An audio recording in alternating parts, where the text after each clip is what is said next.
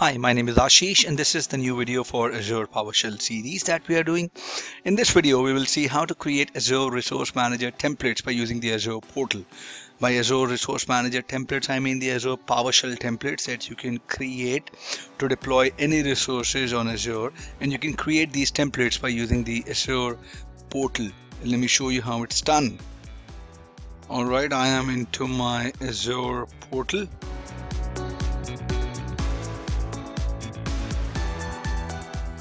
okay now I create a resource.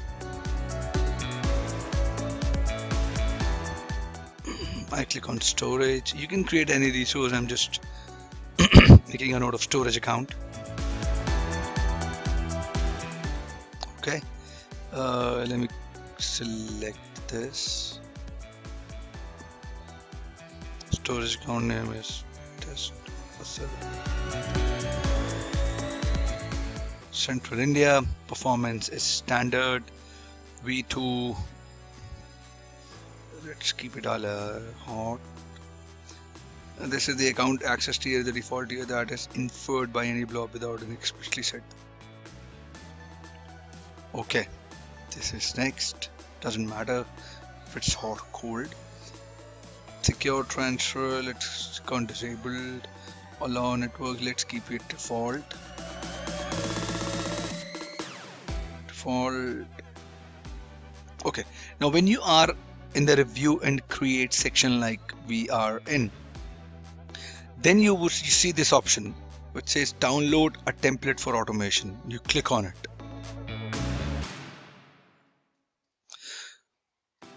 Now if you see this option this is the template and it contains all those settings that you have that you will be configured. While you were creating a the the storage account in Azure portal, you got this option to select the location. So location is one of those parameters of the storage account. The storage account name you got in the value input it will take as a string. Account type with a premier or standard there was a string kind also was a string option access tier hot or cold was also a string support SHTTPS traffic enable enable secure transfer it was also the boolean. It was either the yes or a no. The variable the variable that account has are name type location properties access tier. And these we have not defined any variable. These are picking up from the parameters. See? These are coming from here. The location and if you see now this is the parameters. These are all json files right? So this parameters.json file is a file that supplies value to this template. If you see location type is string and the parameters value would give the location central india storage account name is test as a storage here it was storage account name as a string option so this parameters.json file gives the value to the template.json file. What all is required. Now, if you will have to see the PowerShell template to deploy this uh, storage account, you'll see, I'm sorry, you will see the comment section and when you come down, these are all parameter mandatory type, subscription ID, resource group name. They have defined the parameters. Now if we'll scroll down this is where you log in right? This is where you select your subscription right host selecting subscription. It will ask you. Now it is the resource provider that the resource provider is microsoft dot storage. When the resource like if you are creating the network resource or a monitoring resource and the then the resource provider would be different right? For monitoring it would be microsoft dot insights resource provider. For networks maybe it would be microsoft dot networks. It is a storage resource that we are creating storage account that's why it's microsoft dot storage. Now if you'll scroll down create or check our existing resource group name. It is the resource group creation now uh, if you'll see this deployment section just focus on this. If test path is parameters file path it'll pick the value from here right? Path is the parameters file path. It says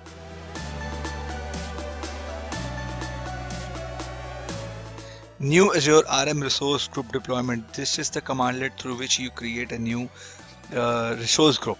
Resource group name is the resource group name variable here that we deployed up. Template file. Remember template file is the template file path which is this which accepts the value the parameters and the variable and the resources right? Now if you come at the PowerShell here again. And the template file and the template parameter file the file that would provide the values to the template file is this which has all the values. The it, if it's false or what would be the name what would be the value type right? Let's say you want to give a user an option. You should you it is not the default value that you want to give. You can give values underlying here. Will, I'm not able to edit it if you deploy onto here. Then you can give multiple values to the user as well. I'll, I'll show you how it's done. Else if if this is the parameters file path it's okay. If it's not then the template file would be the template file path here. Then it will only give the template and would pop up with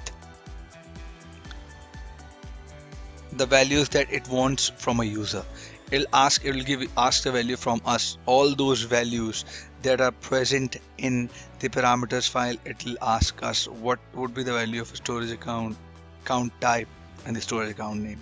So this is how you create it. If you will uh, you can add it to the library the template library on your portal. You can download this then deploy it or you can deploy it here.